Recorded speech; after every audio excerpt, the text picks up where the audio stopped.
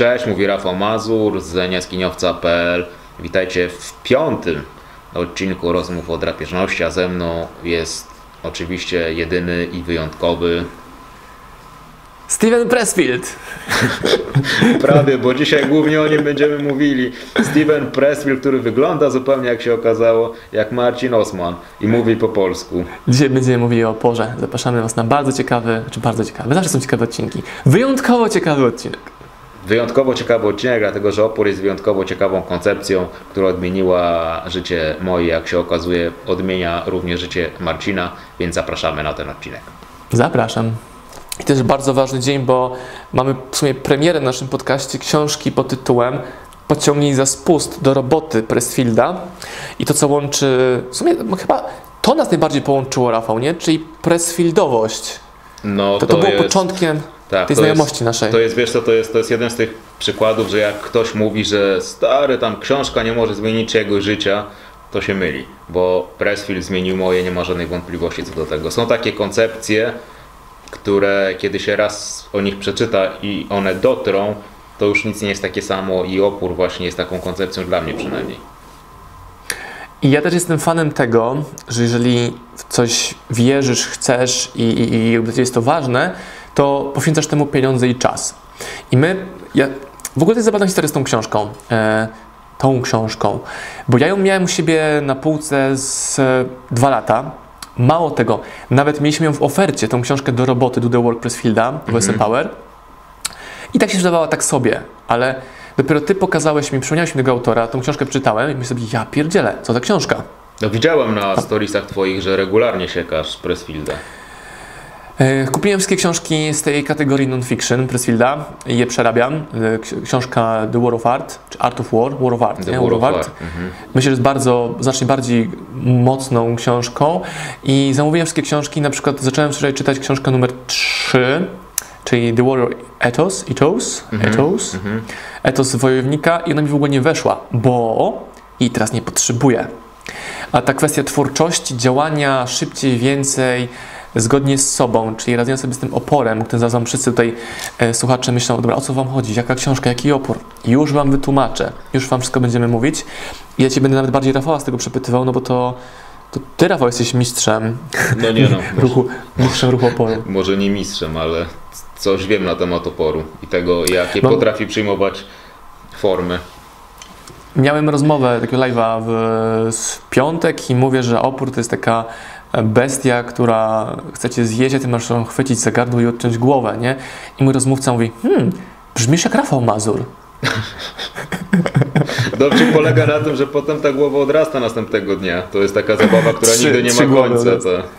Nie, to akurat, nie, akurat nie trzy, bo z oporem jest najpiękniejsze, naj, najgorsze jest to, znaczy ja wiem, że jest najgorsze i najlepsze jest to, że on codziennie wstaje razem z nami, a, ale najlepsze jest to, że jak się go pokona, to potem ma się jakąś tam przewagę i im się częściej go pokonuje, tym się silniejszy, a opór jest słabszy, więc jakby to akurat nie jest ta hydra, że im, im, im, im jesteś skuteczniejszy, tym, tym ten opór jest silniejszy, tutaj jest akurat na szczęście odwrotnie. I nawet zrobiliśmy taki też zabieg sobie marketingowy, ale bardzo ważny, czyli e, OSM Power kupiło cały nakład z rynku książki do roboty Pressfielda, bo zauważyłem, Działa Zauważyłem- globalnie. No. Dzia- Działam, działam globalnie, myślę lokalnie, od, albo odwrotnie. E, I e, jakby, powiem, Ci dlaczego i jakby też chciałbym, żebyśmy o tym. Zobaczyłem, że to jest książka bardzo niedoceniona. Czyli jak książka jest niedoceniana, to znaczy jest źle przedstawiona. Tak samo jak może być źle ta filozofia Pressfielda przedstawiona, więc my ją teraz możemy pogłębić i wyszło nam razem w wspólnych rozmowach, że ona w ogóle mieć inny tytuł, inną okładkę i zrobiliśmy okładkę pod tytułem Pociągnij za spust do roboty Steven Pressfield. I dodaliśmy do tej książki dwóch ambasadorów, czyli Osmana i Rafała Mazura. I teraz w całym tym odcinku będziemy Wam pokazywali, jak bardzo jest to dla nas ważne, czyli ta praca z oporem. I chciałbym Cię, Rafał, poprosić, żebyśmy zaczęli od tego, żebyś powiedział w ogóle, czym ten opór jest, bo my będziemy często używali terminu opór dzisiaj. Daj, daj proszę Twoje zrozumienie i ja też powiem Ci, jak, jak, jak ja to widzę, dobra? Możemy rozpocząć w ten sposób? Okej, zdanie Pressfielda, e, który swoją drogą nie jest Rafał, osobą, jesteś? która. Ze... Ja jestem. O, tak, jesteś, mamy cię, proszę bardzo. Dobra, to jeszcze raz. Czyli zdanie Pressfielda, który swoją drogą nie jest osobą, która zajmuje się rozwojem osobistym, to nie jest facet, który prowadzi seminary i tak dalej. To jest po prostu pisarz i to już z ekstraklasy amerykańskiej, czyli ekstraklasy światowej, e, który długo, długo, któremu dużo czasu zajęło to, żeby być tam, gdzie ostatecznie dotarł. On e, oporem nazywa na dobrą sprawę siłę, która jest siłą biologiczną, tak jak, albo tak, albo powiedzmy fizyczną, tak jak siła grawitacji, która po prostu, której celem jest zatrzymanie nas przed rozwojem, czy zatrzymanie nas przed tym, co to się nazywa górnolotnie e, osiągnięciem pełni naszego potencjału. Więc za każdym razem, kiedy robimy jakieś rzeczy, które nas sabotują, kiedy nie robimy tego, co jest dla nas ważne, kiedy się kurczymy z powodu wątpliwości, obaw, lęków i tak wszelkiego rodzaju autosabotaż pod tytułem alko, narkotyki, hazard i tak dalej, tak to jest forma, w jakiej e, objawia się opór. Ja, ja, ja jako fan Terminatora dwójki, nie wiem czy tam był taki Terminator, który potrafił zmieniać różne kształty i, i on tak był, był tak jakby z rtęci i tam się rozlewał, przelewał i tak dalej, tak dalej. To jest właśnie po części po części opór, czyli opór potrafi przybierać różne kształty i na ogół przybiera kształt i formę, która w danej chwili najbardziej może dać nam po dupie. A czy uważasz, że opór to jest ta siła, która kontruje takie działanie z tym swoim wewnętrznym inner calling? E, Będę przetłumaczył. Mhm. E, taki wewnętrzny głos, o powołanie, wewnętrzne powołanie. Czyli, że bronimy się przed naszym wewnętrznym powołaniem. I jak gdy mi upadła firma, lat temu 7 czy 8, powiedziałem, nigdy więcej nie chcę mieć nic wspólnego z marketingiem, sprzedażą i występowaniem publicznie. Mhm. Coś, co jest moją naturalną predyspozycją, może nie kompetencją, bo kompetencje zdobywam z czasem, cały czas robię to, co robię, ale to jest taki wewnętrzny głos, nie wiem, to jest Mam koleżankę, która jest mistrzem cukiernictwa, położyła biznes, jeden biznes cukierniczy, a ja wiem, że jej wewnętrznym powołaniem jest robić najlepsze słodycze na świecie. Ona się tym broni, szukając innych biznesów, projektów, la la la. Czy o tym porze mówimy na poziomie tej najmocniejszej siły? Tak, znaczy on, ja, ja, nie wiem jak jest, nie wiem jak jest u innych ludzi, ale bardzo często jest tak, że im to powołanie silniejsze, tym opór w drugą stronę też jest silniejszy. Dlatego na przykład mamy wielu artystów, którzy e, chcą albo mają wielki talent, ale zajmują się głównie stylem życia artysty, czyli imprezowaniem, chlaniem zamiast, zamiast, zamiast realnym tworzeniem. To co, to, co Pressfield nazywa oporem, ja po części u mnie w niektórych wpisach i w tym, co ja robię, nazywam właśnie tą, tą agresją kontra autoagresją, czyli to jest rodzaj takiej siły, która jest nakierowana, mm, negatywnej siły, którą nakierowuje się na siebie samego, tak jak układ odporności, zamiast zwalczać realne zagrożenia, potrafi się odwrócić i zacząć atakować zdrowe e, tkanki gospodarze, to się wtedy nazywa e, chorobami e, z autoagresji, czyli, auto, tak, czyli autoimmunologicznymi inaczej. I to mniej więcej, to mniej więcej działa w ten sposób. To jest taka siła, która ma nas ma nas zatrzymać i ściągać w dół, zamiast pozwalać nam wznosić się wyżej. Dlaczego Pressfield, oprócz to, o czym mówimy, jest takie przełomowe, bo w tej pierwszej części podcastu czy tego wideo e, ludzie nie wiedzą, co w tym takiego wyjątkowego. No, jakiś opór, coś, tam pewnie motywacji będzie. Musimy pójść um, o, to jest zajebiste pytanie. Z mojej perspektywy, że ja też nie to wiedziałem, o co chodzi. To jest zajebiste pytanie. Ja Ci powiem, ja ci, ja ci powiem dlaczego. Dlaczego dla mnie przynajmniej i z ludźmi, z którymi pracuję?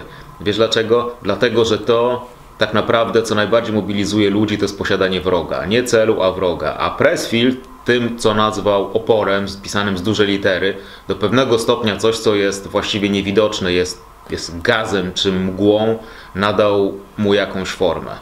I nadał formę właśnie... Mi to się kojarzy z potworem właśnie, dosłownie to akurat jest twój, twój symbol oporu, prawda? Natomiast, natomiast dzięki temu, że on to w jakiś mhm. sposób nazwał, ty to w jakiś sposób widzisz i wiesz przynajmniej z czym masz do czynienia. I to było to, co e, zmieniło najwięcej w moim życiu. To, że on mi określił, ucieleśnił coś, czego ja nie potrafiłem określić i e, pokazał mi, jak wygląda wróg.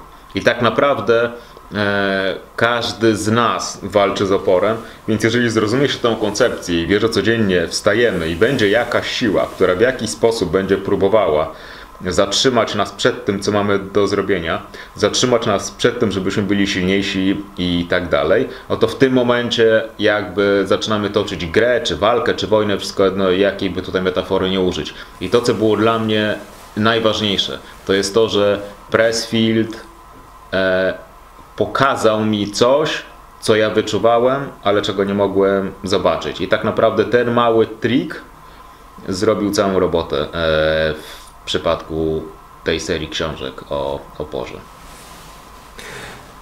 To mi dało bardzo dużo sama świadomość tego, że to istnieje. Drugą rzeczą właśnie powiedziałeś, że, że, określenie tego, że w mojej głowie jest to po prostu smok, który ma wielką głowę, chce mnie zażreć, nie? Czyli to też jest mój wróg, który ma w dupie, czym się chce walczyć, czym się nie chce walczyć, on tak nie chce pożreć. I często ludzie biernością próbują e, usprawiedliwić swoje braki spełnienia, czy w ogóle działania, że no dobra, tam pierdolę, nie będę robił nic, nie? Jakoś to będzie. Nie, bo w tym momencie coś żera. Tak samo jak ludzie mówią, że nie chcą tam podejmować zmiany, bo coś tam, a zmiana się dzieje wokół nich i tak. I to, że nic nie robią, powoduje, że się cofają. Też kolejny banał motywacyjny tak właśnie jest. I mm, ja sobie myślałem o różnych momentach mojego oporu życiowego, czy w życiu. Też książka e, Pro, czyli pewnie to jest polski to byłby, nie wiem, bądź profesjonalistą albo stań się profesjonalistą. E, było takie zdanie, które mówi, że ludzie, którzy przegrali z oporem, tak, tak, parafrazuję tak. mniej więcej tak, jak ja to rozumiem, to oni skupiają się na przeszłości, skupiają się na przyszłości, no bo łatwo sobie argumentować, dobra, nie skupiają się na przeszłości, więc sobie budują wizję przyszłości po to, żeby nie musieli działać w teraźniejszości. Mhm. I jak ja to zdanie czytałem, to aż miałem takie ciary, bo to dokładnie pokazuje, jak ja funkcjonuję. Czyli ja naprawdę działam dzisiaj z tym, co mam tu i teraz, mam wizję, ale ją realizuję przez dzisiaj i staram się, bo to nie zawsze mi wychodzi, nie być przeszłości w moich doświadczeniach.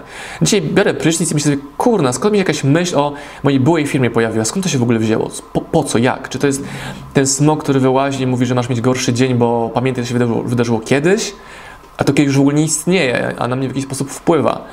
Mam też e, bardzo, bardzo dużego człowieka sukcesu, który przechodzi przez duży kryzys teraz i on robi wszystko z wyjątkiem robienia. Tak. Czy jest w przeszłości, jest w przyszłości, co jest, mam wrażenie, takim mechanizmem oporu dla profesjonalistów, czyli nie, nie, ja się nie żyję w przyszłości, ja buduję wizję teraz, nie? Jak ją dopiero zbuduję, wtedy będę mógł działać. On się w tym babra, a widzę, że on sabotuje swoje działanie. To nie chodzi o takie proste, po prostu do it. Albo też o to chciałem Cię zapytać, to jak określić moment potrzebny na rekonwalescencję od momentu, który naprawdę musisz działać. Ja miałem moment rekonwalescencji, odpoczynku, wiesz, leczenia swoich ran, i też słyszałem do it, ale to był taki do it nieprzemyślane. I teraz myślę sobie, czy to była forma oporu. Chyba nie, wtedy byłem zbyt słaby, aby i pójść dalej od razu. Ten, ten, temat mnie bardzo fascynuje. Możemy w tym pogrzebać głębiej, co z tego wyjdzie. Czy ja oczywiście nie znam odpowiedzi na to, ile potrzeba czasu na to, żeby się faktycznie pozbierać. Ty znasz każdą odpowiedź na każde tak, pytanie. E, I tak, i, i, odpowiedź na każde pytanie brzmi, to zależy. I ja, i... Albo, no, będzie w kolejnej części prezentacji, tak. Także e, ja nie wiem, bo tak jak powiedziałeś właśnie, jakby ta perwersja oporu polega na tym, że z jednej strony to może oznaczać, że ktoś niczego nie robi, a z drugiej strony może to oznaczać, że ktoś robi rzeczy, które są totalnie nieprzemyślane i tak na dobrą sprawę w jakiś sposób sabotuje się tym, że e, ciągle biegnie, tylko że biegnie w ogóle nie w tym kierunku, e, w którym trzeba i robi rzeczy, e, które są, które są głupie. Więc e, ja nie wiem, ile czasu potrzeba. To oczywiście walka z oporem nie polega na tym, że codziennie trzeba, e, wiesz, nakurwiać i pracować po 12 godzin na dobę. To akurat nie o to chodzi. Natomiast to właśnie e, ten temat mojego najnowszego wpisu, który wczoraj, że tak powiem, oddałem, e, to jest to, że właśnie jednym, jednym ze sposobów, i to dopiero zrozumiałem, całkiem niedawno, w jaki my się dajemy pokonać jakiejś tam wersji już wyższego, zaawansowanego oporu, to jest to, że wiele osób e, nie myśli w sposób e, strategiczny i po prostu robią rzeczy dla robienia, czyli kręcą się w koło. Tam w Turning Pro jest między innymi taki moment, nie wiem czy kojarzysz, gdzie on opisuje, że właśnie na przykład każdy nauk polega na tym, że ktoś kręci się wokół własnej osi i tak naprawdę nie ma to żadnego sensu, natomiast jest dużo ruchu. Jest to ciągłe kręcenie się wokół własnej osi, bo on tam między innymi wspomina, prawda, o różnych ludziach, którzy mieli tam mhm. e, różne mhm. takie czy inne przegody z różnymi substancjami. więc e, to też może to też może na tym polegać. Jakby każdy z nas ma ten opór swój i do pewnego stopnia potrzeba jest usiąść albo z kimś, kto jest osobą niezależną i kto może wskazać nam e, kierunek w taki chłodny sposób, albo właśnie spojrzeć na to, czy w ogóle to, co robimy, daje jakieś efekty. Natomiast ja też wiem z własnego życia, że jednym z najlepszych modeli rekonwalescencji jest jednak przesuwanie się do przodu i robienie czegoś. To może być coś małego, to może być coś niedużego, ale jest trochę więcej siły i godności w tym, jak jednak mimo wszystko coś robimy. Więc jeżeli ktoś jest w poważnej dupie, to jednak niech spróbuje przynajmniej te parę minut dziennie zrobić coś, co ma szansę przybliżyć go do celu, nawet jeżeli ten kroczek wydaje się mały i nie ma żadnego znaczenia, czyli trochę niech przytuknie i niech pokaże, że chociaż przez chwilę te 10 czy 15 minut w ciągu Właśnie, dnia. on powinien być mały, on nie jest gotowy na wielkie Mhm, kroki. Dokładnie. On właśnie tymi małymi krokami musi z tego wyjść. Mówię, musi on, a myślę teraz o sobie sprzed kilku, kilku lat u mnie, nie? że tak długo się frustrowałem, muszę znaleźć większy cel, większą filmę, nie? Żeby spłacić moje zobowiązania, muszę jakiś ogromny deal teraz zrobić, a tu wychodziło kurwa, że nie, że, że nie, że po prostu nie da się. Musisz to robić po kolei od początku, one by one i inaczej to po prostu nie działa. To jest ta różnica. Według mnie największą bronią tego oporu, tego smoga, tego po prostu skurczybyka, który chce zniszczyć jest profesjonalizm. Ludzie, którzy robią wszystko, co według ich definicji jest profesjonalne, czyli nagrywać wideo, dobra, kupię sprzęt, wynajmę studio, po to, żeby nie robić. Nagrywanie to jest włączenie record i gadasz. Nagrywanie to nie jest kupno sprzętu. I oni wszyscy to są tak mocno w tym profesjonalizmie, że nie robią. Na szkoleniu u mnie ostatnio była dziewczyna, która robi zajebiste wideo, ale jedno na dwa miesiące. Czemu? Bo ona make-upistkę, ma sprzęt, ma montaż, la la la, ale brakuje jej skupienia się na właściwym działaniu, tym co dowozi efekt, czyli na dowożeniu merytoryki, skupia się zbyt, zbyt mocno nad formą i ja to, co widzę w branżach kreatywnych, czyli agencje reklamowe, interaktywne, internety, twórcy, to to, że oni skupiają się kurna na niewłaściwych rzeczach. Tych, które, które nie mają żadnego znaczenia dla odbiorcy. Mówię, dobra, ale musi być lepsze wideo, żeby widz to docenił. Nie. Jeśli dasz mu dobre, merytoryczne, fajne, ciekawe, rozrywkowe wideo nagrane good enough jakością, z dobrym audio, to mu to wystarczy. I dowiedziesz mu 100 tych wideo, 100 tych odcinków, a nie jeden na dwa miesiące. Znaczy to jest tak, to, bo teraz zbliżamy się powoli do, wiesz, do nowego roku i do postanowień noworocznych, które na ogół jeszcze są podejmowane po pijaku. Więc to, to jest właśnie sytuacja kogoś, kto jest kompletnie bez formy e, i wiesz, postanawia w nocy z 31 na 1, że od następnego dnia już będzie biegać i to bieganie oczywiście oznacza, nie wiem, 20 km od razu, prawda? No i potem wychodzi i efekt jest taki, jaki jest, albo idzie i ćwiczy 3 dni, potem nie jest w stanie się ruszać i, i na tym jest koniec. No, to jest dokładnie to, co mówisz. Tak naprawdę ta, ten, ten sposób walki z oporem między innymi oznacza po prostu zrobienie czegokolwiek. I, i e, to, ta, ten taki perfekcjonizm, czy, e, czy, ta, czy, czy, czy ta myśl od razu o podbijaniu całego świata, zanim podbije się e, samego siebie i, i zrobi cokolwiek, no to jest właśnie też forma oporu, bo ktoś, kto postanawia, że on od następnego dnia będzie ćwiczyć i będzie ćwiczyć dwie godziny dziennie, chociaż nie ćwiczył przez 12 lat, to jest też, to jest też e, taka perwersyjna forma oporu, więc jednym, jedną z najbardziej powszechnych form oporu, o czym wspomniałeś, jest właśnie taki rodzaj perfekcjonizmu, a ponieważ opór generalnie e, e, polega na strachu, no to oczywiście łatwiej jest wydać 20 parę tysięcy złotych na sprzęt niż tym telefonem, który już mamy, nagrać coś, wrzucić to na YouTube i poddać się reakcji tych, którzy to ewentualnie zobaczą. Jakby to wtedy odciąganie tak naprawdę tego pociągnięcia za spust jest dużo łatwiejsze niż zrobienie roboty w ramach tego, w ramach tego co się ma. Dlatego bardzo często podstawową techniką walki e, z oporem jest docenienie powiedzmy takiej brzydoty i surowości tego, co możemy zrobić dzisiaj.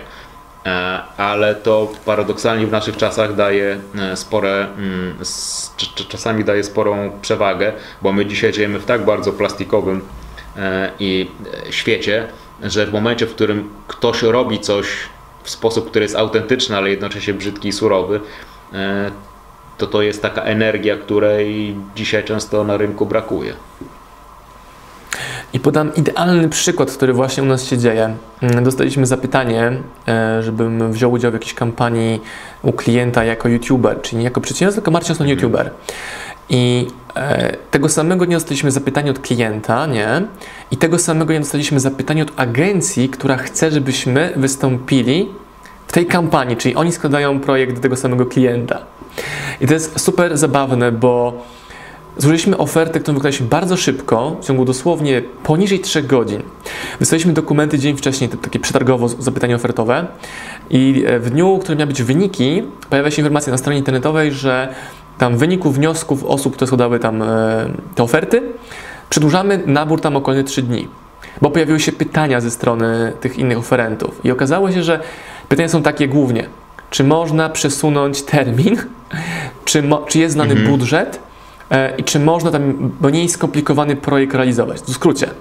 I pomyślałem sobie, wow, my zrobiliśmy w terminie, bez żadnego jojczenia, mamy 100% zasobów, w naszej wycenie nie ma kosmicznych kwot, bo nie będziemy wynajmowali 15 kamerzystów i make-upistki do tego, bo skoro oni chcą od nas wideo, które my dajemy na YouTube normalnie, to właśnie taki ma wideo to być. I mój wniosek z tego jest taki, że ci profesjonaliści z agencji reklamowych, oni budują oferty, PowerPointy, coś tam, coś tam, dokładają większą kwotę, a tak naprawdę oni nie zwiększają wartości dla klienta w żaden sposób, ale wydaje im się, że są agencją reklamową, ale oni mają zero narzędzi, oni muszą bazować na zewnętrznych zasobach. A co byłoby, gdyby ta agencja reklamowa powiedziała, dobra, będziemy specjalizować się w takim, w takim zagadnieniu, zbudujemy własny kanał, własny YouTube, własną jakąś kampanię, gdzie promujemy swoje platformy, budując tego medium.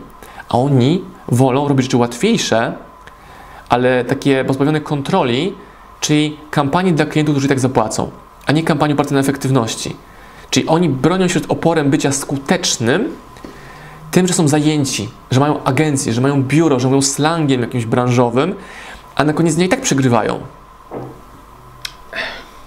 No właśnie to jest, to jest ta zabawa z oporem. Ta koncepcja jest tak kluczowa i ona jest tak wszechobecna, że to, to dosłownie jest, wiesz, jak w tym, jak w tym powiedzeniu o, tym, o, o, o tych rybach, które już nie zauważam, że pływają w wodzie. To, co między innymi powiedziałeś na początku, że w ogóle Pressfield dał Ci samą świadomość, że coś takiego jest, no to jest oczywiście absolutna podstawa tego, że w ogóle wiesz, że to jest i że to jest powszechne i że każdy to odczuwa, bo każdy to odczuwa, niezależnie czy weźmiemy jakiegoś sportowca, który jest na szczycie, czy biznesmena, który jest na szczycie, wszyscy ci ludzie odczuwają taki czy inny opór. Ja nie znam ani jednej osoby, której zawsze się chce, która nigdy nie ma żadnych wątpliwości, wie wszystko i tak dalej, i tak dalej, i tak dalej.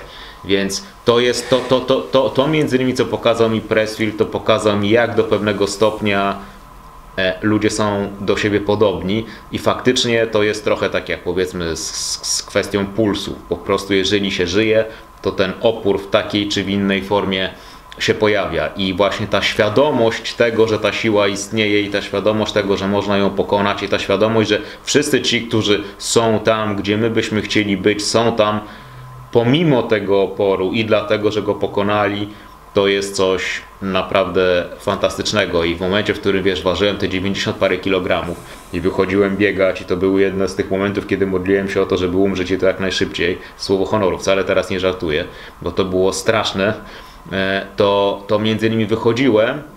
E, dlatego ja, dlatego ja mówiłem, że dla mnie na przykład trening fizyczny był treningiem mentalnym, bo to dla mnie była kwestia pokonania oporu. Samo pokonanie oporu i wyjście było dla mnie dużo ważniejsze niż tam czasy, e, kilometry, podniesione kilogramy i tak dalej. To było dla mnie kwestia pokazania tego, kto tu rządzi i przypierdolenia prosto w zęby temu oporowi codziennie.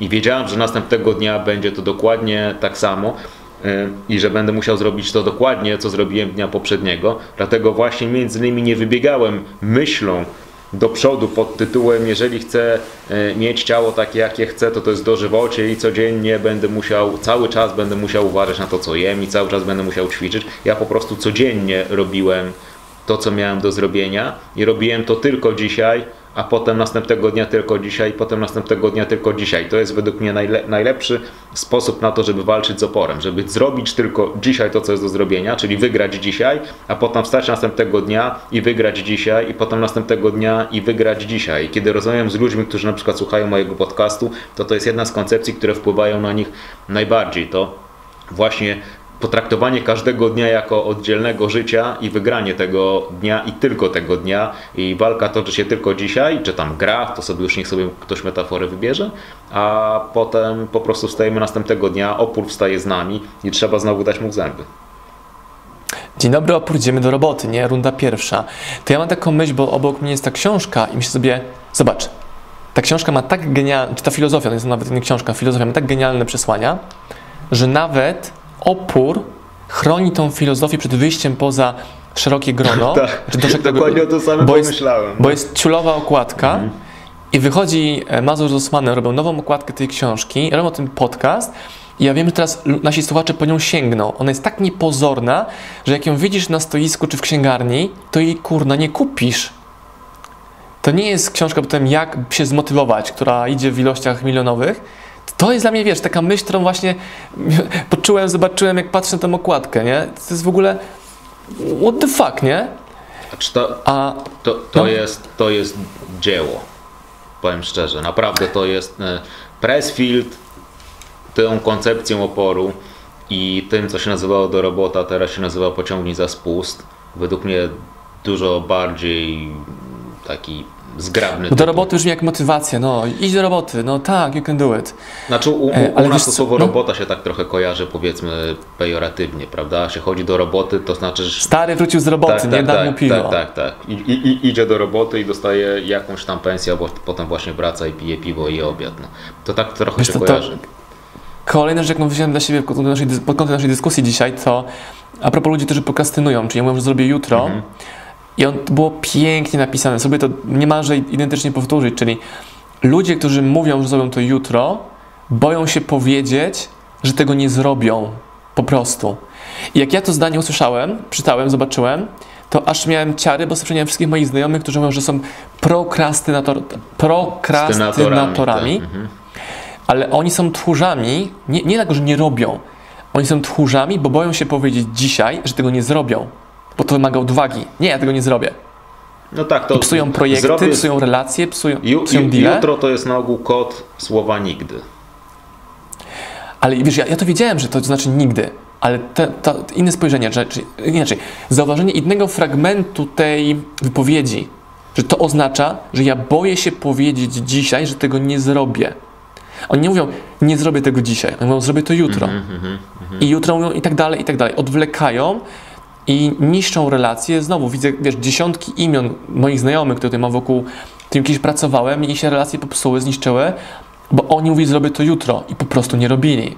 Bo zrobię jutro i nie robię, oznacza złamanie zaufania. Nie mogę na ciebie polegać, albo muszę prosić się o to, żebyś mi to dowiózł. A są ludzie, których nie trzeba prosić, którzy są w kategorii pro, profesjonaliści. Zgadza się. Czy to są ludzie, którzy są odłączeni bardziej od tego, co czują i myślą, a koncentrują się na tym, co jest do zrobienia? Jakby to też jest kolejny element filozofii Pressfielda, czyli to połączenie, e, a czy to postawienie kontrastu pomiędzy ludźmi, którzy są w postawie amatora i ludźmi, którzy są w postawie zawodowca. Więc ludzie, którzy są w postawie zawodowca, to są ludzie, którzy określają, co jest do zrobienia, tworzą jakiś swój projekt. To może być dowolna rzecz, to może być kwestia e, związana e, czy z ciałem, czy z biznesem, cokolwiek, tworzą projekt, a potem po prostu wykonują zadania, które e, wiodą ich do ukończenia tego projektu, niezależnie od tego, co myślą, niezależnie od tego, co czują, albo niezależnie od tego, czego nie myślą, czy niezależnie od tego, e, czego nie czują. Czyli to jest taki, taki bardzo e, też w dużym stopniu mm, mechaniczny, mechaniczny model, gdzie po prostu robi się to, co jest do zrobienia, bez szczególnego zwracania uwagi akurat na to, czy jesteśmy zmotywowani, czy nie. A wracając do tego, co powiedziałeś, to tak jak ja na początku mówiłem o tym, że, że na, na szczęście z oporem to wygląda w ten sposób, że jak się z nim wygrywa, to potem jest łatwiej wygrywać. No to właśnie problem z tym zrobię to jutro polega na tym, że jeżeli dzisiaj wygra opór, to jutro jest odrobinkę, ten ułamek procenta, ale odrobinkę trudniejszy do pokonania. I to są po prostu, to jest takie trochę przeciąganie liny. I teraz chodzi o to, żeby ta lina była bardziej po naszej stronie niż po stronie oporu. Oczywiście nic się nie stanie, jeżeli będziemy mieli jeden dzień gorszy czy dwa dni gorsze, ale trzeba mieć świadomość, że jakby, że ten opór jest siłą absolutnie bezwzględną i on będzie przeciągał nas na swoją stronę i im dłużej tam jesteśmy, tym trudniej jest nam się e, stamtąd wydobyć. Nie znaczy, że to jest niemożliwe, bo jest możliwe w każdej chwili dla każdego i w każdym wieku, Ej, O tym jest między innymi ta książka, ale jest trudniej, więc to jutro powoduje, że jutro będzie nam raczej Jutro będzie futro. Albo nie będzie. E, I wiesz, też jest mnóstwo paradoksów, bo na przykład różnica między amatorem a profesjonalistą. Amator mówi, ja nigdy nie odpuszczę. Profesjonalista mówi, trzy dni w roku odpuszczę. I to też jest ok. Bo profesjonalista wie, że on pozostałe tam 300 kilkadziesiąt dni będzie tę robotę robił. I też to, co pisze Pressfit, wiesz, to dla mnie są retrospekcje mojego życia, albo tego, jak teraz myślę, czy jakie miałem problemy kiedyś, że ludzie chcą być gotowi do działania, a nie zakładają, że działanie buduje gotowość. Mhm, I czyli robią, nie możesz czekać, aż będziesz gotowy robić. Musisz robić niekoniecznie te same rzeczy, których właśnie myślisz jako twój główny projekt, żeby się szykować, gotować do tego. Czyli moim projektem było, jak wyjść men- z mentalnego bankructwa. Nie? Bo kwestią wtórną było, jak wyjść z bankructwa finansowego. To było później. Nie? Ale jak wyjść z tego mentalnego bankructwa, tego mentalnego upadku. I to był mój główny projekt, a nie jak stworzyć nową agencję reklamową. Jak ja to zrozumiałem, też miałem taki przełom, czyli dobra, moim projektem, pozdrawiam moją żonę by the way, bo to oczywiście pomysł Kamili, która mi pokazała tą perspektywę, że to jest mój projekt, ja muszę znaleźć mentorów, coachów, inspiratorów, inspiracje w świecie, żeby podróżować i zacząłem z tego wychodzić. A amator chce robić już największy projekt życia, nie chce, nie chce się do niego przygotowywać, bo zakłada, że samo przygotowywanie się nie jest warte w ogóle jego czasu i uwagi, jest zbyt dobry na to. Albo się nie chce przygotowywać, albo nie robi niczego poza przygotowaniem się. Czyli kolejna wersja, kolejna wersja, Mhm. beta, beta 2, beta 3, beta 4 i tak w nieskończoność, i tak w tak, nieskończoność. tak, tak, tak. Ale powiedz mi, ty pamiętasz ten moment, w którym powiedzmy, e, kiedy ty z kolei e, przestałeś e, się regenerować i ruszyłeś z miejsca? Co się stało u ciebie akurat? Ta, tak, bo też o tym Pressfield pisze kilka przykładów takich case study ludzi, którzy nagle obudzili się i powiedzieli dość. To u mnie tym dość było, jak Jezu, pamiętam, jak, Jezus Maria, pamiętam jak to się dzieje. Idę sobie ulicą pomiędzy e, na Alejach Jerozolimskich, tam jest taki punkt Copy General, na rogu jest Biedronka, budynek starej Ikei.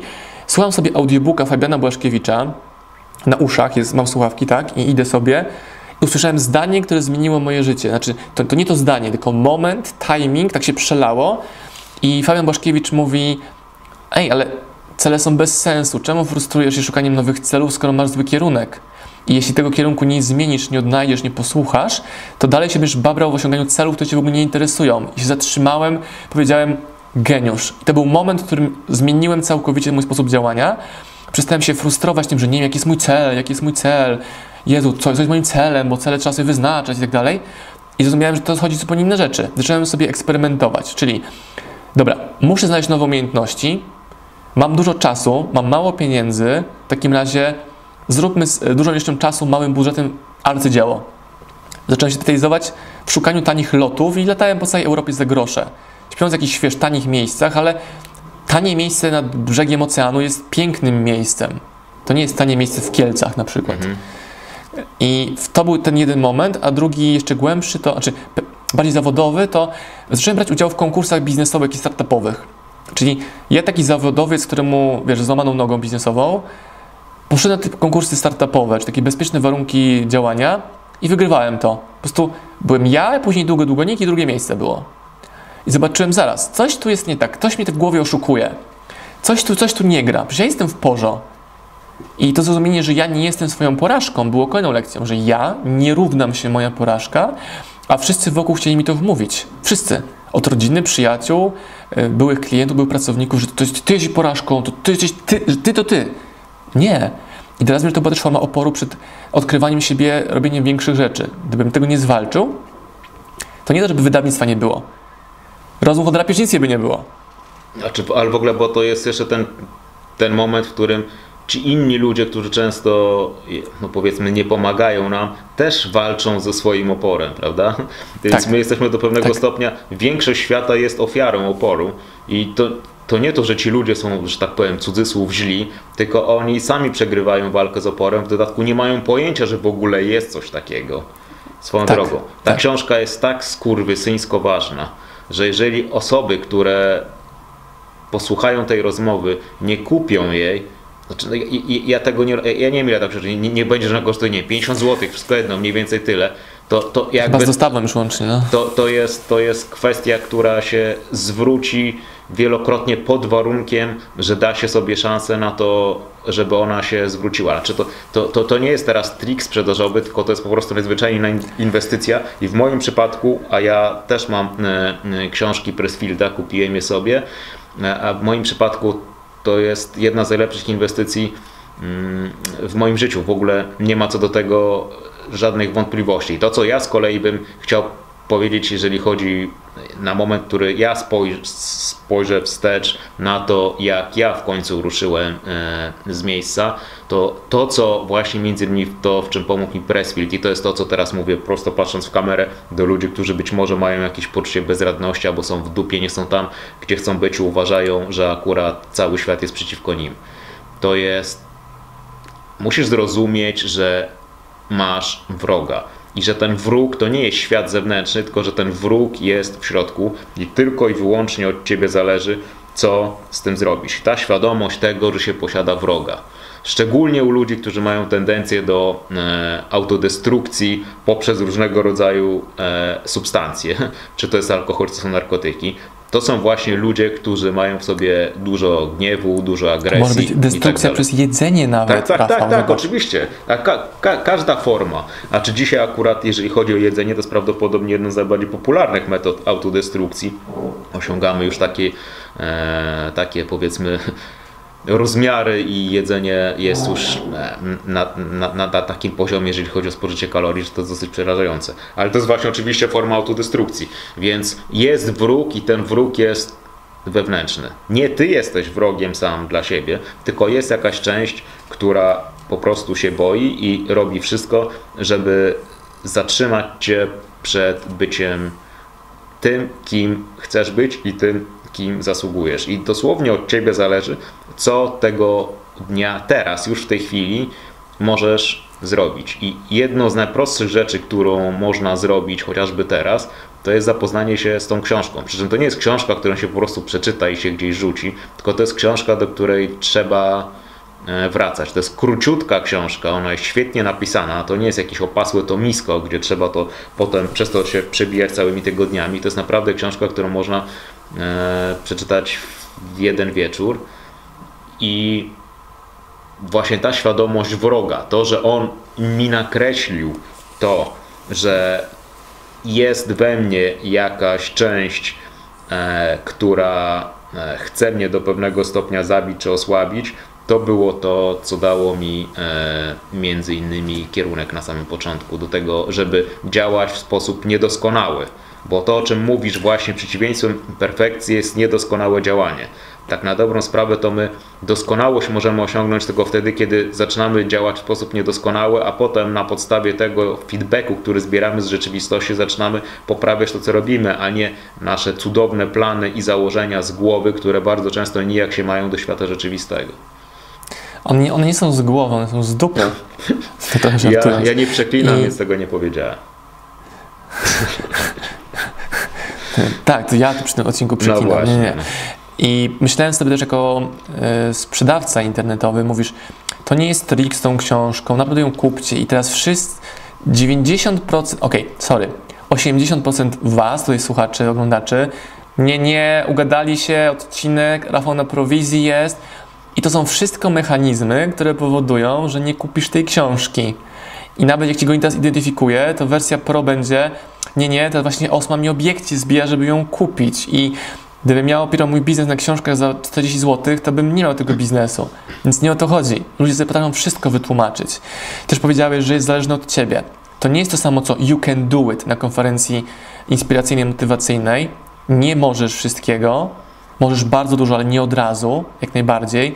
Kolejna cecha profesjonalisty cierpliwość, którą też coraz bardziej, co rok jestem w tym lepszy, być bardziej cierpliwym. Po prostu robię dzisiaj kolejną część. Tak samo Rafał nagrywa kolejny wideo, nagrywa kolejny odcinek podcastu, wrzuca kolejny cytat na Instagram i tak, i tak, i tak, i tak dalej. I też to, że nawet moje usługi i Twoje, Rafał, nie są usługą powszechną, czyli my nie mamy takiej ilości klientów, jak mają inni ludzie w branży Twojej rozwojowej, czy mojej jakiejś, nie wiem, tam YouTube'owej, to nie ma żadnego znaczenia, bo tak jak mówi Seth Godin, it's not for everyone. I to jest jakby kolejna opcja mm, takiej segregacji, nie? O, mm, filtrowania tych barier, które powodują, że ktoś ciebie, do ciebie nie przyjdzie po to. Bo albo za, nie wiem, masz zbyt wysoki głos, za niski, przeklinasz, nie przeklinasz, widać, nie wiesz. 100 tysięcy powodów, czemu z tego nie skorzystać. Mówię o tych radach, które dajemy. Nawet nie są radami, tylko przemyśleniami do kamery, gdzie sobie dyskutujemy. Przy okazji nagrywając. Czy wiesz, przy okazji jeszcze tego oporu, tak jak wymieniłeś między innymi cierpliwość, e, czy w ogóle kwestia właśnie tego niedoskonałego działania. Jeden z elementów, ja nie wiem czy Pressfield mówi o tym dokładnie, znaczy w sensie wymienia do, dokładnie to, ale to jest też jeszcze kwestia pokory. Wiesz, bo można być pewnym siebie, można być nawet aroganckim i tak dalej, zuchwałym i nie, nie ma z tym żadnego problemu. Natomiast potrzeba też mieć w sobie pokorę. Nie wiem o kim mówisz, w ogóle nie wiem o kim mówisz. Mówię ogólnie. E, ale, ale trzeba też mieć e, w sobie pokorę, żeby rozumieć, że działają też na nas siły, które są większe i potężniejsze od nas samych.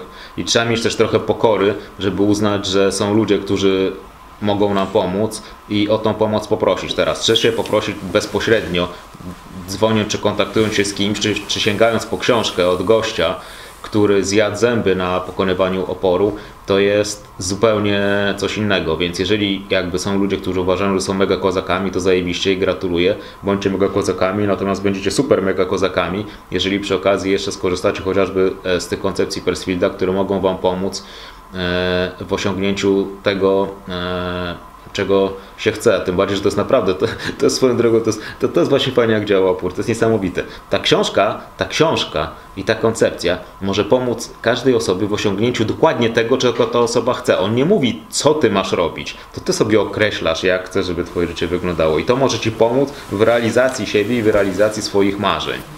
I nawet to powoduje, to, że ludzie hmm. jeszcze zastanawiają się, czy powinni przypadkiem kupić czy skorzystać z tej książki. To jest naprawdę niesamowite, ale ja to rozumiem, bo ja sam byłem w tym miejscu, tylko jakby któregoś razu przekroczyłem już próg bólu i był już dla mnie, był już dla mnie nie mogłem go już więcej tolerować. Tyle razy e, nazwisko Pressfielda przewijało się w rekomendacjach, tyle osób, które oglądałem, słuchałem, mówiło o Pressfieldzie, że w końcu uznałem, że to jakby coś w tym musi być. Pamiętam, to było lata temu, no, to było wiele, wiele, wiele lat temu wszedłem między innymi na Amazon, zobaczyłem, wtedy było chyba ze 300 e, e, e, recenzji dotyczących jego książki The War of Art, od, od której swoją drogą zacząłem.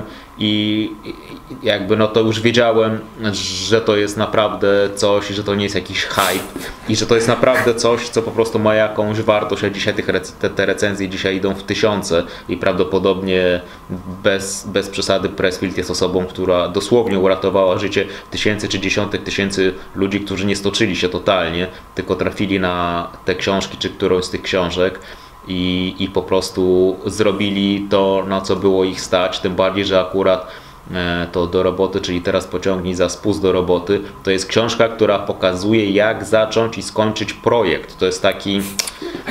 Rafał, no, ja się śmieję, no. bo mówisz to gościowi, który tę książkę miał w swojej ofercie w sklepie i ją sprzedałem mówię, i już nie zamówiłem więcej. A teraz jestem gościem, który kupił cały nakład od wydawcy tej książki. Kumasz? Mhm bo ja po nią sięgnąłem. Też ważny jest moment, który po nią sięga, czyli książka e, Etos Wojownika nie jest książką, której teraz potrzebuję, poszukuję, może to się zmieni. A sam fakt tego, że wiem, że ona istnieje, już mi wystarczy, żeby mieć jakby kolejne narzędzie w swojej e, tam ofercie narzędzi do walki, na przykład z oporem, w postaci liderstwa, nie? I kurde, Oh, Jezus Maria. Bo jednocześnie potwierdzamy jakieś mity rozwojowe i, i nie, czyli w odpowiednim momencie odpowiednia książka przychodzi. Zgadza się. E, jest opór przed działaniem? Tak. Czemu go mam? Bo być może zbyt dużą porcję chcę ugryźć tego tortu, może trzeba po trochę poddziałać, przygotować się. A jeśli zbyt długo się przygotowuje nie ma efektów, to może trzeba w końcu te konie z boksa wypuścić, niech one zapierdzielają do przodu.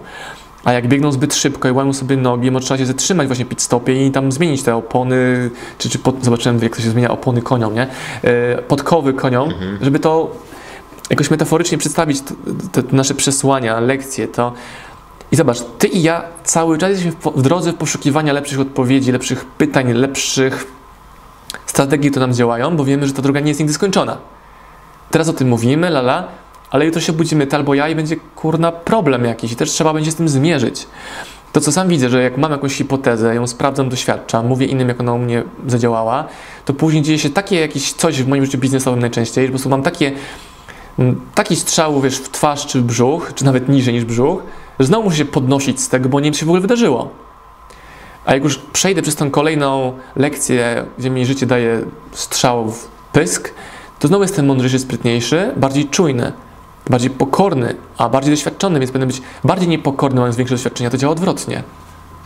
Tak, bo to między innymi właśnie pokazuje, ile my jeszcze nie wiemy, nie? Znaczy, to jest tak jak wiesz w tym powiedzeniu, że faktycznie e, wiem, ile nie wiem, ale jest to teraz sobie zdałem sprawę, że było śmieszniej. Zdałem sobie sprawę, że w ogóle notatki, takie jakieś moje z Pressfielda, to był albo pierwszy wpis na Zenia Skiniowca, albo jeden z pierwszych. Ja byłem pod tak potężnym wrażeniem e, tych jego książek, że Zenia Skiniowca zostało założone między innymi e, pod Pressfielda i pod koncepcję walki z oporem. I tak na dobrą sprawę to jest wciąż się w taki czy w inny sposób e, tym zajmuje, bo w momencie, w którym czegoś chcemy, w momencie, w którym mamy jakiś cel, to jedyny tak naprawdę element, który nas e, e, przed tym celem zatrzymuje, to są te wszystkie problemy, wyzwania i tak dalej, które natrafimy mm, po drodze. I to jest oczywiście Mhm. kwestia teraz tego, jak my będziemy na nie reagowali. I to jest e, to, to paliwo, dzięki któremu opór się pali. Jeżeli trafiamy na jakieś przeszkody i się zatrzymujemy, to wzmacniamy swój opór i on się rozrasta. Natomiast jeżeli trafiamy na jakieś przeszkody i je pokonujemy, no to w tym momencie dajemy oporowi w zęby i on słabnie. I tak na dobrą sprawę Zenia Skiniowca powstało właśnie między innymi z inspiracji Pressfieldem. Z czego sobie zdałem sprawę całe- teraz.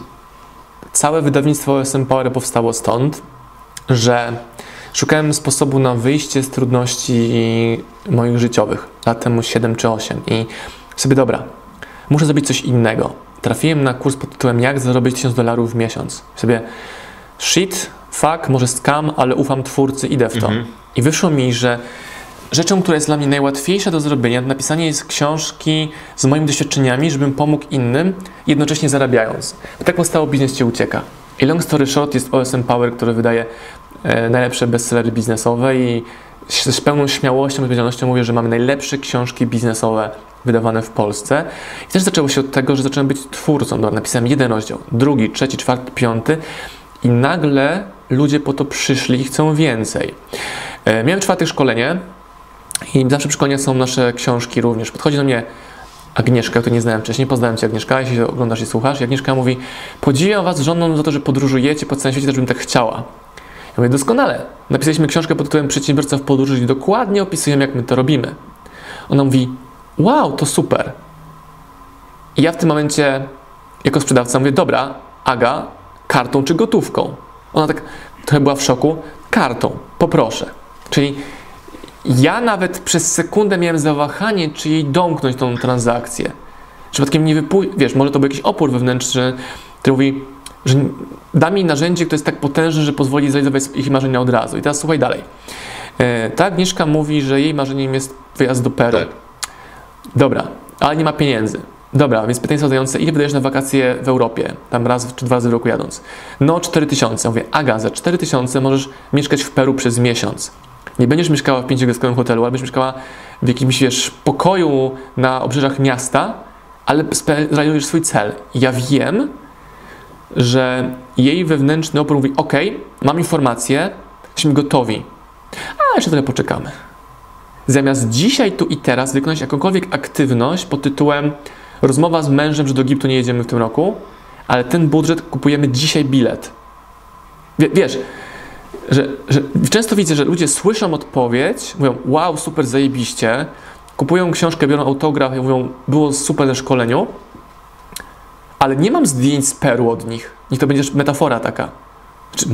Części mam, ale to jest mały procent, a nie, że 80% osób nagle realizuje swoje życie podróżnika. Mm? To jest po prostu fascynujące, jak ten mechanizm działa, że nie znam odpowiedzi, ja ci ją daję. Mm, to jest za mało jeszcze, ale mówiłeś wcześniej, że potrzebujesz tylko odpowiedzi jak, więc już wiesz jak. Pokazuje ci, że cię stać na to. Mm, jeszcze nie, jeszcze nie. No właśnie, i to jest pytanie w tym momencie, czy w przypadku mm, kogoś takiego czy tak naprawdę to po prostu jest zachcianka, która jest i ona nie ma tak naprawdę większego znaczenia. To jest po prostu chcę, tam chciałabym i tyle. I mhm. czy, czy właśnie w tym momencie jesteśmy świadkami tego, jak na naszych oczach ten opór wygrywa i pokonuje tę osobę?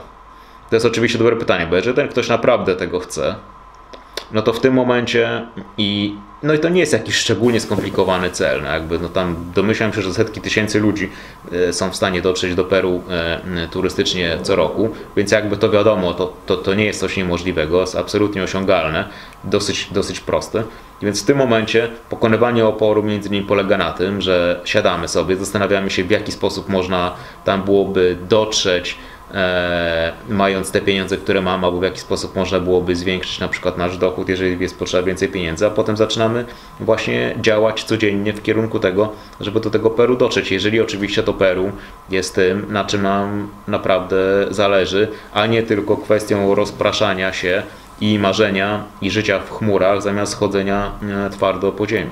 I teraz podam Ci przykład z wczoraj, który myślę, że będzie bardzo inspirujący dla naszych słuchaczy i widzów że miałem taki weekend w, w niedzielę, sobotę, że się uczyłem, dużo czytałem, więc też dużo ciekawych myśli się pojawiało i miałem taką myśl, że kurde, nie do końca jestem zadowolony z e, poziomu kafejek w Lublinie. Nie do końca jestem zadowolony z przestrzeni biurowych oferowanych w Lublinie. Takich nie ma nowoczesnych przestrzeni, które w moich standardach chętnie bym używał. Tak samo nie ma klubu sportowego, który również spełnia moje wysokie wymagania i oczekiwania, prawda? I co by było, gdybym takie miejsce stworzył? I teraz dalej. Co by było, gdybym stworzył cały budynek, gdzie wszystko jest w jednym, pod jednym adresem? pojawia się od razu myśl, no tak, to jest wielkie, drogie, nie jesteś deweloperem, la, la, la. Ale pojawiła mi się myśl, no bo czytam przez chwilę przez, przez weekend, hej, mhm. to jest sygnał. Co mogę zrobić, żeby tą obiekcję, nie mam pieniędzy wielkości nie wiem, 5 milionów euro na taką inwestycję, bo to ma być oczywiście przejebanie wielkie, nie? Mhm. Ale znam kogoś, kto takie pieniądze ma. Znam kogoś, kto inwestuje w nieruchomości. Znam kogoś, kto jest inwestorem startupy. Więc napisałem do niego do wiadomość, dzieląc się tą wizją i zapytałem, co o tym myślisz. I to jest już pierwszy krok w kierunku tego. Ja nie wiem, czy to wyjdzie, ale ja już wykonałem pierwszy krok w kierunku realizacji albo zderzenia tej hipotezy z rynkiem, z inwestorem i tak dalej. I to jest coś, co często mówię też na moich materiałach wideo, czy w książce Biznes Ucieka szczególnie mocno, to podkreślam, że taka mikroaktywność już jest wygrana. Ja wykonałem pierwszy krok w kierunku zasobów, które mogą ten cel u mnie zrealizować, pokazując moją gotowość do realizacji w takim temacie. Może z tego wyniknie cokolwiek. Moja znajoma mówi, e, wszechświecie pomóż mi zrealizować moje marzenia albo jeszcze lepsze rzeczy. Zakładając, że nie muszę dokładnie tych celów osiągnąć, bo może coś lepszego osiągnę jeszcze. To jest wbrew tej filozofii bardzo konkretnie określ datę, kształt, smart projektu, celu, wiesz, tego typu mhm, rzeczy. Mm, mm. Swoją drogą, nigdy się to u mnie nie sprawdziło. To określanie, pisanie dat i określanie czegoś bardzo szczegółowo nigdy się u mnie nie sprawdziło. Wiesz Jedyne, co się mm. sprawdziło, to sprawdziło się u mnie, to było nadanie kierunku i robienie codziennie Kierunek. czegoś e, kierunku określenie wroga pod tytułem opór czy własna słabość i tak dalej, tak dalej i codzienne robienie podstawowych ruchów. Tak jak, tak jak byłem w stanie, tak jak potrafiłem, tak jak umiałem i tak dalej, tak dalej. Wiesz, ja sobie uwielbiam czytać książki i tak dalej, uwielbiam to, ale na przykład, wiesz, i, i, i, i bardzo w moim stylu byłoby w momencie, w którym postanowiłem ruszyć moją grubą dupę, żeby zamiast ruszyć grubej dupy, postanowić zrobić przy, przy, przez miesiąc czytać, jak powinno się biegać, jak powinno się podnosić, podciągać, bla, bla, bla i tak dalej dalej i być potem najlepszym fachowcem od to, teorii biegania i tak dalej, tak dalej, ale akurat tego w tym wypadku nie zrobiłem, bo jakby też podświadomie wyczuwałem, że to nie na tym polega, że sobie mogę czytać, y, to, to wiesz, to właśnie Pressfield pisze, nie? E, zdaje się w The War of Art tam jest taki moment, gdzie on opisuje jakiś rysunek z New Yorkera, gdzie facet e, ma do wyboru e, drzwi, drzwi, które się nazywają niebo i drzwi, które się nazywają książki o niebie i się zastanawia, które z nich wybrać, nie? to jest coś, to jest właśnie coś w tym stylu. Ale właśnie to, to o czym mówisz, no to jest właśnie pokonanie oporu w stylu, co ja mogę zrobić dzisiaj, jeden minimalny krok, mając to, co mam, czyli nie mając tego, czego nie mam, żeby się do tego przybliżyć. Zobacz, na przykład, jak to wygląda? Załóżmy, że część osób kupi tę, tę książkę i załóżmy, że część osób wprowadzi, zmieni swoje życie na lepsze To, że ja kiedyś postanowiłem zrobić coś ze sobą, to, że ja potem zacząłem coś e, mówić o tej książce, to, że potem się spotkaliśmy, to, że usiedliśmy przy stole, a widzieliśmy się osobiście tylko raz, bo ludzie myślą, że my się znamy od lat, a my się widzieliśmy Fufle, osobiście no. tylko raz. Usi- usi- usiedliśmy przy stole i z tego, wyszło, z tego wyszło o drapieżnictwie. Potem ty na nowo odkryłeś na dobrą sprawę Pressfielda. Te, te, te, te, ten jeden element gdzieś tam, gdzieś kiedyś spowodował, że może się zmienić życie dziesiątek, setek czy tysięcy ludzi na lepsze. I żaden z nas nie był w stanie tak na dobrą sprawę przewidzieć tego, jak to wszystko będzie mogło wyglądać, tylko po prostu określiliśmy sobie jakiś kierunek, idziemy w tym kierunku i dajemy szansę sobie i patrzymy na to, co z tego wyjdzie. No. Mhm. To, to jest wszystko. I to jeszcze raz wrócę, bo że sam proces robienia jest procesem leczącym rany, trudności, Do- gojącym dokładnie, blizny. 100%. 100%. E, ale może to być proces sabot, sabotujący ciebie, jeżeli nie chcesz poeksperymentować i zakładasz, że musi dać dokładnie efekt, o który ci chodzi. A sobie myślę, że ja osiągnąłem cele, które sobie wypisałem na kartce w mojej poprzedniej firmie. Były to cele na flipcharcie powieszone na drzwiach mojego pokoju biurowego i tam te cele osiągnąłem wszystkie, ale byłem tak nieszczęśliwy, że zaliczyłem później bankructwo. Czyli co z tego, osiągnąłem film, wiesz, cele przychodowe, ilości pracowników, kompetencji, rozpoznawalności jakiejś tam branży, bla, bla, jak to w ogóle nie było moje i ja chciałem, moje takie ego gówniarza, ktoś naczytał książek o tym, jak sukces powinien wyglądać i chciał być na okładce Forbesa, teraz tego nie chcę, w ogóle tego nie potrzebuję, e, powoduje, że zapłaciłem dużą cenę. I znowu, ta umiejętność powiedzenia enough, nie? Kiedy jest dość? Czyli czy ja potrzebuję milion klientów? Nie. Ja potrzebuję mieć tysiąc, a może nawet stu zajebistych, najbardziej zajebistych ludzi, którzy moimi klientami będą na świecie. I też widzę e, potężne narzędzie oporu, jakim jest chcę, żeby mój projekt był największy na świecie. Zrobić największą konferencję motywacyjną w Polsce. Wiesz, chcę ściągnąć najdroższe gwiazdy do Polski. I sobie myślę, dobra, chcesz zrobić najlepszy event czy największy? Chcesz dać najlepszego nauczyciela czy najdroższego nauczyciela? Wiesz, tego typu rzeczy. I to jest sabotaż, nie? Bo to się w końcu musi kiedyś wypierdzielić. I tak ludzie znowu chcą, chcę mieć Porsche. Dobra, super. Czy dzisiaj byłeś w salonie na jeździe próbnym Porsche? No nie byłem, bo mnie tam w ogóle nie wpuszczą. Więc zrób taki biznes, żeby ci otwierali drzwi w tym salonie, a nie zastanawiali się, czy w ogóle masz tam wejść. No tak, ale wizualizacja, cele, marzenia. Dobra. Ja nie znam nikogo, kto jest szczęśliwy, mając Porsche. To są ludzie, którzy siedzą najczęściej na konferencjach motywacyjnych w pierwszym rzędzie.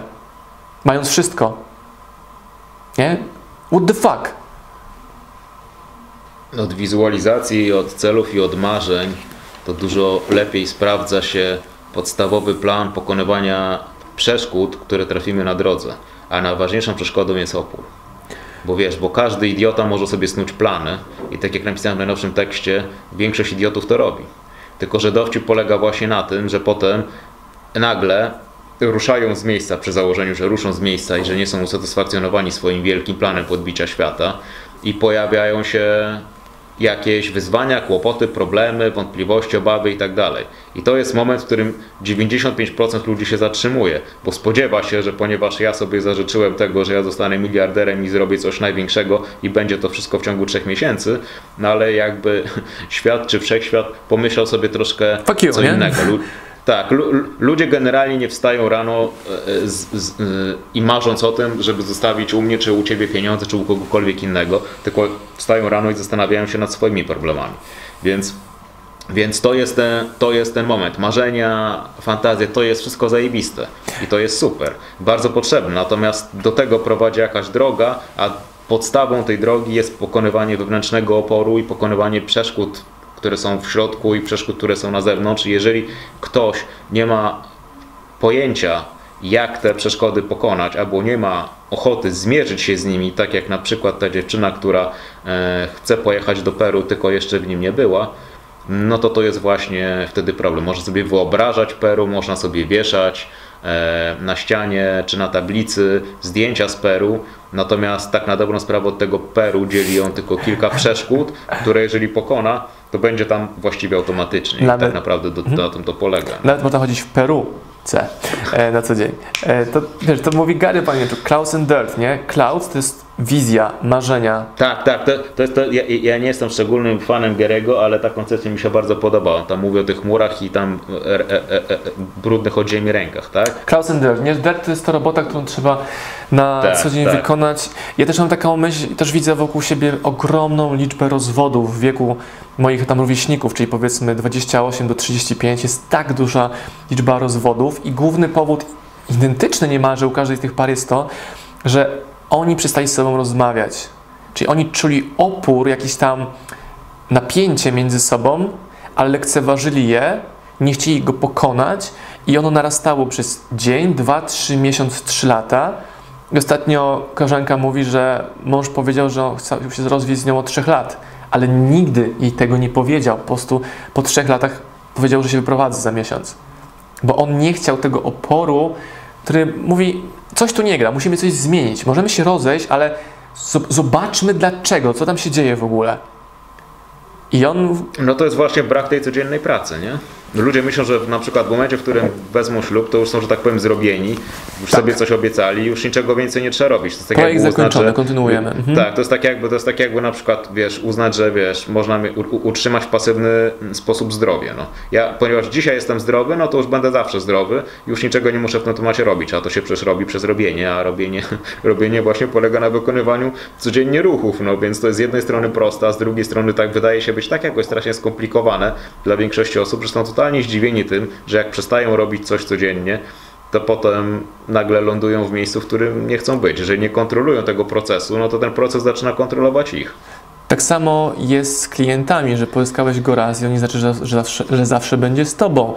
Ja, mimo tego, że jestem fanem e, tego crossfitu, o którym często wspominam ostatnimi tam miesiącami, to w zeszłym tygodniu dostałem tam bana na rezerwację zajęć, bo tam jedną rezerwację dałem na zły dzień, później odwołałem, więc dali mi ban na rezerwację zajęć. I mając e, karnet open, jestem ukarany tym, że muszę przyjść na zajęcia i nie wiem, czy wejdę. Co mi to przeszkadza, bo mam intensywny dzień, tydzień i nie chcę mieć ryzyka, że nie zrobię treningu i już na niego poszedłem. I myślę sobie, kurde, oni właśnie powodują, że ja po raz pierwszy rozmyślam, czy mi zmienić klubu sportowego na inny. I w tym tygodniu bana uznałem, że też im dam bana na, na mnie. Że nie będę chodził do nich przez tydzień i sobie pójdę do pięciu różnych klubów na darmowe zajęcia pierwsze. W zasadzie, hej, może to będzie klub inny dla mnie. I znowu, e, e, wiesz, nie musisz nic robić, tylko nie zniechęcaj. Nie, nie przeszkadzaj temu klientowi. A jak już zapytasz, co chce, albo dopieścisz go, to ja właśnie, kurde. Pytanie, czy przypadkiem nie jest taki mechanizm sabotacji, sabotażu ze strony klubu, do którego ja chodzę, że nie chcą się rozwijać mocniej, szerzej, bo wiedzą, że gdybym ja się w nich rozkochał, to ja byłbym ich najlepszym narzędziem marketingowym i bym musieli otwierać drugi w ogóle klub, żeby, e, ludzie, którzy za moją rekomendacją przyjdą, byli w stanie się zmieścić. Wiesz, takie też nawet myśli mam. Możliwe, wiesz, nie, nie, nie mam pojęcia. Nie, o, o, oczywiście, nie ja mówię ci o moim jak to wygląda. jakichś tam wewnętrznych myślach, analizując ten, ten proces i też to, że zależność, niezależność, ktoś mi coś powiedział, ktoś mi czegoś nie dał, no, no, no nie no, nie wziąłeś sobie. Ktoś dał mi bana. Okej, też możesz dać mu bana, są inne opcje i też mi żona uświadomiła, że Jezu, moja żona jest tak mądra, chciałem być połowie tak mądry jak ona. E, I ona mówi, no ciebie wkurza nie ban na to zajęcie, tylko to, że nie masz alternatywy. I powiedział sobie, dobra, będę chodził na squasha, na ping-ponga, na akrobatykę jakąś, przez tydzień doświadczę nowych, nowych kompetencji. I co się okaże, jeśli e, ta moja reakcja na opór pokaże mi nową dyscyplinę sportu, to mi się bardziej spodoba. A Mali może powiedzieć, okej, mam tydzień wolnego. Interpretacja tego oporu w różną stronę. To, to interpretacja jest cholernie ważna. To jest właśnie między innymi jedna z rzeczy, które opisałem w tym najnowszym moim wpisie i podcaście, jak zostać graczem. Tak naprawdę interpretacja to jest, to jest połowa elementów. Tak na dobrą sprawę, przecież to, co zrobił Pressfield, to Pressfield przedstawił, przedstawił nam swoją interpretację, prawda? Przecież opór to jest tak naprawdę w jego wydaniu to jest pewnego rodzaju symbol czy metafora. Teraz to jest tak samo prawdziwe, jak i nieprawdziwe, ale ta interpretacja jest fantastyczna. To nie chodzi o, no, to nie chodzi o to, czy ona jest prawdziwa faktycznie, tylko chodzi o to, że ta mapa opisuje nam dużo lepiej rzeczywistość niż mapa, którą my wcześniej mieliśmy, więc w tym sensie ona po prostu, ona po prostu pomaga. Ja nie mogę przestać polecieć tej polecać tej książki, mówię szczerze. Wiesz co, ale E, wiesz, jest- wiesz jaki będzie opór ludzi, którzy ją czytają już po, po lekturze? Że ta książka nie dała mi gotowych rozwiązań. Bo ta książka nie daje gotowych rozwiązań, ona pokazuje mechanizm, z którym musisz sam pracować. I to będzie kolejna by poziom wyżej pro. Okej, słuchałem podcastu Osmana z Mazurem, kupiłem książkę, przeczytałem ją, mam notatki, ale tam nie ma gotowych narzędzi. Bo No. ja jeszcze raz powtarzam, Pressfield nie jest człowiekiem, który jest z, z biznesu rozwoju osobistego. Pressfield jest pisarzem, który pisze książki, tam zdaje się między innymi scenariusze filmowe, Tak. który sprzedał tych książek sporo, ale dopiero sprzedał je powiedzmy w drugiej połowie swojego życia, bo tam między innymi on w innych książkach opisuje swoją, swoją nazwijmy to umownie, przygodę e, z pisarstwem i tym, jak mu to kompletnie nie wychodziło, jak tak naprawdę sprowadziło się to wszystko do tych tak zwanych dupogodzin, czyli tego, że trzeba było wysiedzieć przed maszyną do pisania. Więc to nie jest gość, który on, on nie prowadzi żadnych seminariów. On napisał te, te książki, tak naprawdę w tych książkach powiedział wszystko, co ma, tak jak się wydaje, do powiedzenia. Rzadko pojawia się w podcastach i tak dalej. Jakby to. On, on, on, się zajmuje, on się zajmuje swoją robotą, a jego robotą jest po prostu pisanie najlepiej jak potrafi. Pisze swoją drogą fantastycznie. Pisze tak naprawdę w taki sposób, który się doskonale czyta. Te zdania są krótkie, język jest dobry, to nie jest nudziarstwo, to jest fantastycznie, to jest w ogóle fantastycznie napisane, więc to, to, to, to, to jest właśnie między innymi to, że ten gość rozumie, że nie ma gotowych formuł, tylko że my sobie sami musimy znaleźć pewne e, podstawowe elementy i on tak naprawdę rysuje taką, taką mapę, która pokazuje nam, gdzie jest ten najważniejszy wróg. E, chociaż akurat, akurat pociągnie za spust i do roboty jest tak naprawdę e, pewnego rodzaju może niedokładnym, ale opisem tego, jak Trzyczęś- zacząć i zakończyć jakiś proces, jak projekt, niezależnie od tego. Tak, tak. Trzyczęściowy proces tego, jak zacząć, a potem zakończyć jakiś projekt i od Ciebie zależy, e, czym ten projekt e, będzie. Albo my napisaliśmy Kamilą książkę tą sprzedawać więcej, 100 sposobów na sprzedaż i marketing i ludzie mówią, wow, zajebista książka i na przykład mówią, za dużo sposobów, żeby wdrożyć, albo mówią, to nie jest dla mnie, albo mówią, no tak, ale tam nie ma dokładnie informacji, co zrobić. Po pierwsze jest, po drugie potestuj, po trzecie wdróż 73 pomysły ze 100 i będziesz po prostu madafaka. I to też kolejny mechanizm bronienia się przed tym, że ktoś, e, w przypadku my, dostarczył gotowe narzędzie. Gary Vaynerchuk daje gotowe narzędzia? Daje, bo mówi o filozofii, jaką jest thank you economy, czy ekonomia wdzięczności, jakim jest daj, daj, daj, poproś, a w tą formułkę możesz sobie włożyć cokolwiek chcesz. A z drugiej strony, jak mają kogoś narzędziowego, bez filozofii, tej, tego mindsetu działań, też to, też to nie wychodzi. E, czekaj, znowu też czwarty, ktoś zapytał mnie na szkoleniu propos jakiejś aktywności o, w internecie, a co z RODO? Pod kątem nawiązywania, o wiem o co chodziło. Mówię, że najprościej jest nagrać po prostu do kogoś wiadomość wideo, kogo nie znasz, taką 10-sekundową na Messengerze, zawsze to ktoś otworzy. To oporem w głowie tego gościa, tego słuchacza mojego było, a co z RODO? To ja zapytałem go, że jak podchodzisz do kogoś na ulicę czy na konferencji, to pytasz go o RODO, żeby porozmawiać z nim, a jego w głowie barierą przed robieniem tego, czyli nawiązywanie relacji online skutecznie, niestandardowo w formie wideo, jest blokadą, że tak nie można robić, bo to jest RODO, czyli takie RODO, które dało ludziom wymówkę, że nie można się odzywać do klientów w internecie, wiesz? To jest taka moja obserwacja branżowa. A czy wiesz, bo to też między innymi jest oczywiście to pytanie, czy my się skupiamy na tym, co e, chcemy osiągnąć, czy skupiamy się na tym, czego chcemy uniknąć. Ja go zapytałem, szukasz rozwiązań, czy powodów, żeby nie robić. I to było takie bardzo wymowne, bo na forum całej grupy i on też to zrozumiał, chyba. Czyli podsumowując tą, tą część i cały ten odcinek, to szedłem w kierunku też finalizacji, że formy oporu są różne, tak? Tak. Zgadza się. Dobra. Y, Jak ty byś podsumował to? Jakby to, to z twojej perspektywy te całe rozmowy, żeby trafić też do ludzi, którzy potrzebują w punktach konkretnie jakiejś finalizacji. Ja bym podsumował to w prosty sposób. Przede wszystkim wiesz, ja, ja naprawdę, naprawdę przerobiłem bardzo, bardzo, bardzo dużo materiału i bardzo wiele materiałów jest bardzo seksownych i czasami czytam sobie coś nowego i jestem podekscytowany, a potem dwa miesiące później nie pamiętam tak na dobrą sprawę, co to była za koncepcja, bo tak naprawdę była seksowna, ale niekoniecznie miała głębie. Opór to jest rzecz, i Pressfield ze swoją koncepcją oporu. Trafiłem na to w momencie, w którym e, tego prawdopodobnie akurat najbardziej potrzebowałem. Pressfield bez wątpienia jest osobą, która miała ogromny wpływ na moje życie. Nigdy go nie spotkałem, prawdopodobnie go nie spotkam. Natomiast ten człowiek bez wątpienia mnie odmienił e, na lepsze tą e, całą swoją koncepcją, więc to jest rzecz, która dosłownie jest ze mną codziennie i za każdym razem, bo to jest już ten, ten to, to już jest właśnie ta zmieniona świadomość, kiedy wiem, że mam wybór, albo zrobić to, co jest do zrobienia, albo nie zrobić i przegrać z oporem, to przynajmniej wiem, jaką cenę zapłacę, jeżeli tego nie zrobię. Wiem o tym, że ten opór odrobinę się wzmacnia i wiem z kolei, że jeżeli zrobię to, co mam do zrobienia, proste rzeczy, chociażby te pięć codziennych zadań do wykonania, które mogą nas przybliżyć do naszego celu, wiem, że wtedy ja się staję silniejszy, że jestem na najlepszej drodze i następnego dnia będzie mi dużo łatwiej ten opór pokonać. W wielkim skrócie to jest absolutnie kluczowa książka i jak pytają mnie ludzie o to, jakie, jakie miałbym książki, powiedzmy top 3 wymienić, to zawsze Pressfield jest w, tym, w tej trójce i jest według mnie na pierwszym miejscu, bo ta koncepcja tak naprawdę zmieniła wszystko i była takim katalizatorem, który umożliwił mi e, robienie tego, e, co miałem zrobić.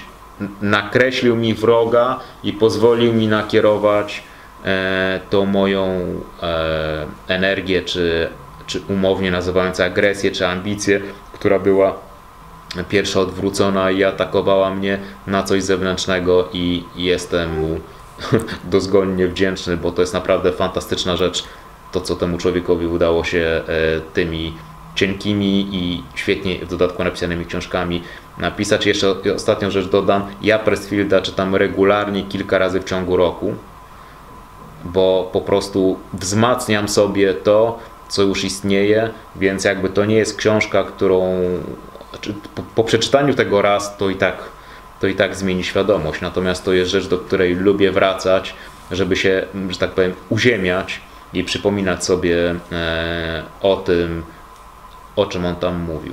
Mhm. Ja jestem zafascynowany moją obserwacją, jak na nią patrzyłem, na tą książkę, którą mam obok, że ta książka nawet chroni siebie przed tym, że była kupiona. Czyli cienka, dziwna okładka, teraz już dobra okładka jest. E, jak po nią sięgniesz, to może nawet może masz tą książkę słuchaczu widzu drogi u siebie na półce. To też byłby hicior, nie? Znaleźć książkę dokładnie tą, którą potrzebujesz, albo szukasz tej książki, której nigdzie nie ma już, bo jest sprzedana na przykład, albo trzeba w jakichś antykwariatach szukać. Hmm? Dobrze, na tym, bym, na tym bym skończył rozważania na temat oporu na dzisiaj. To nie jest tak, że mam opór przed kontynuacją, bo możemy gadać, gadać, gadać długo i zawsze. I ja Was zachęcam do tego, żebyście powalczyli, potestowali, obserwowali swój opór i, i zaczęli robić te rzeczy, które macie robić. Takie są moje życzenia dla Was, nasi drodzy słuchacze. Zapłacicie, wiesz, już, już, już, już tak zupełnie Sprzedawaj, na koniec. Dawaj. Wiesz, ja jestem, ja, ja, jestem e, fanem tej filozofii tego, że my sobie musimy wybrać swoje własne przejebane. Mamy.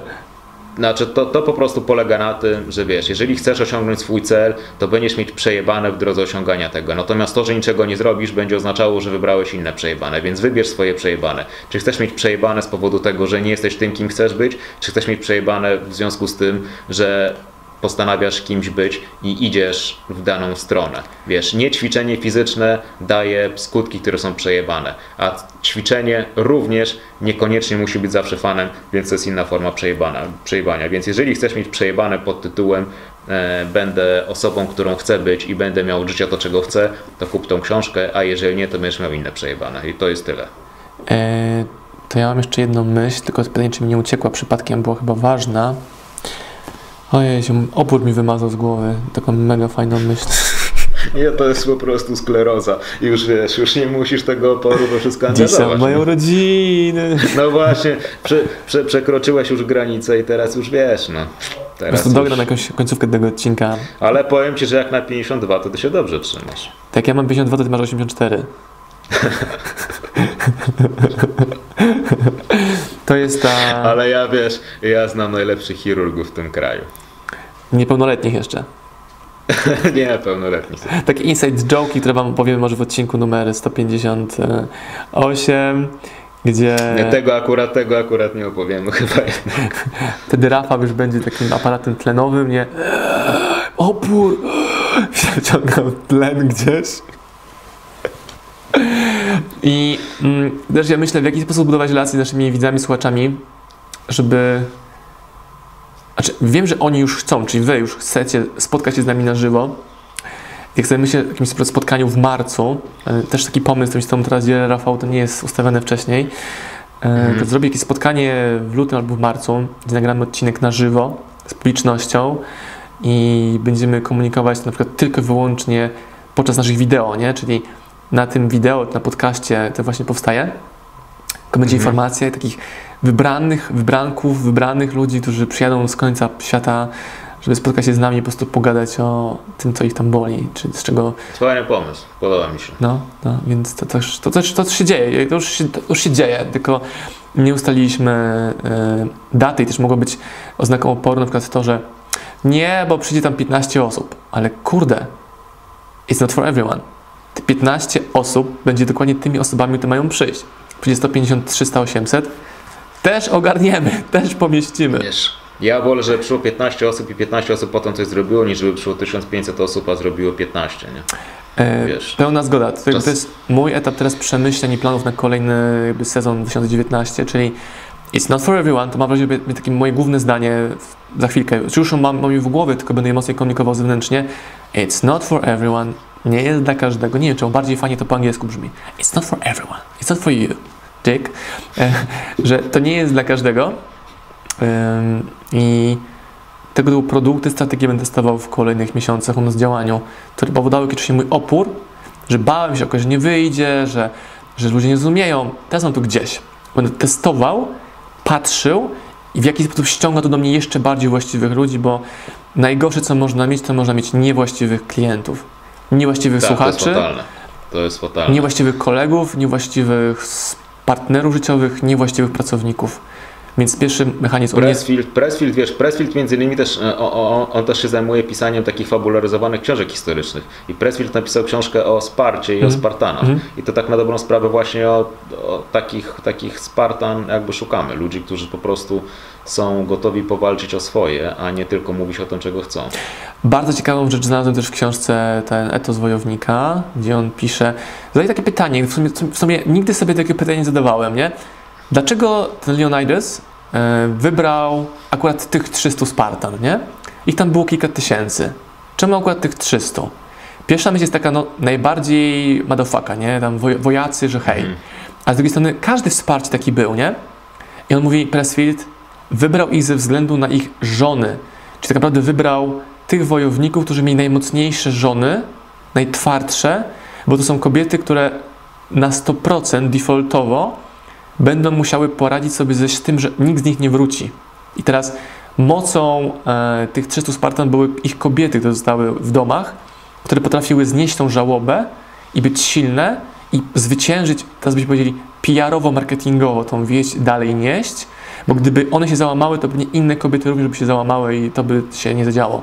No, fascynujące, zupełnie inne spojrzenie na świat. Tak samo e, różnica między Bezosem a Muskiem. Elon Musk myśli, jak zrobić tam, odnaleźć planetę jakąś inną, a e, Bezos myśli, no dobra, ale to ważniejsze jest to, nie jak mm, zrobić drugą Ziemię na Marsie, tylko jak znaleźć zupełnie inną Ziemię lepszą w kosmosie. Kwestia różnych właściwych pytań, interpretacji, które po prostu tak poszerzają mój mózg, że aż czuję się, jak się naciąga. No w sumie jakie genialne pytanie. Czemu? Czy w ogóle, w, w, ogóle pytania są ważniejsze od odpowiedzi swoją drogą? My wszyscy szukamy odpowiedzi, ale tak naprawdę odpowiedzi sami możemy znaleźć przez zadawanie sobie, przez zadawanie sobie odpowiednich pytań. Swoją drogą to Pressfield jest kultową postacią, jeżeli chodzi o, o, o armię amerykańską, jednostki specjalne i tak dalej. Ten etos wojownika jest tak naprawdę pisany, pisany dla nich. To jest naprawdę, e, Pressfield jest taką kultową postacią e, i te jego książki, między innymi o walce z oporem właśnie czytają ludzie Navy Seals, Delta i tak dalej, i tak dalej. On tam sporo o tym, sporo o tym mówi, więc on, on, on, to, on tą książkę napisał bardziej jako oddanie czci tym ludziom, którzy służą w mundurze.